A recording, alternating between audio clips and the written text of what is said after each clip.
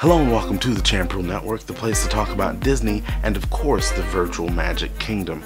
Now instead of the virtual Magic Kingdom, today we're here to talk about virtual Family Kingdom. You may remember as soon as it was announced that VMK would be closing down, all of a sudden VFK was talked about. It wasn't ready yet, but they said they're going to rush it because now that VMK is closing, we're ready to put out the Virtual Family Kingdom, which originally, if I'm not mistaken, it was more of a historically based game, and it might still be historically based. Um, at one point, there was a an Australian membership package where you could buy a handmade boomerang for yourself, plus your character would get a boomerang and all sorts of Australian gear, and that was that was something that I remember from when it was first becoming built up. Uh, but now it seems like there's a lot of weird things going on.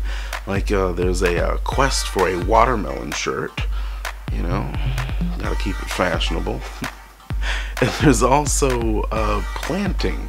You can buy seeds for very odd plants that I've never heard of in my life.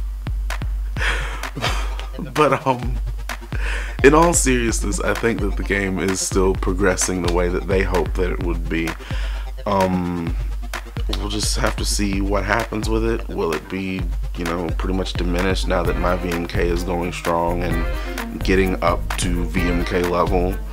Or will it still stay where it is because it's different? What do you think? Send me an email or leave a comment down below. Don't forget to subscribe and thanks for watching the Champrul Network. I'll see you tomorrow, part of the 61 Day Challenge. Bye guys.